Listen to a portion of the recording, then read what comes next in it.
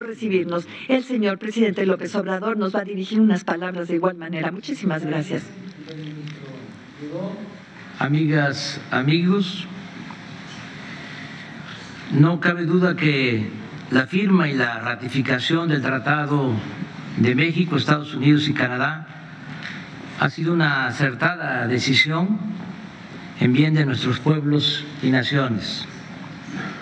La integración económica con respeto a nuestras soberanías es el mejor instrumento para hacer frente a la competencia derivada del crecimiento de otras regiones del mundo, en particular la expansión productiva y comercial de China.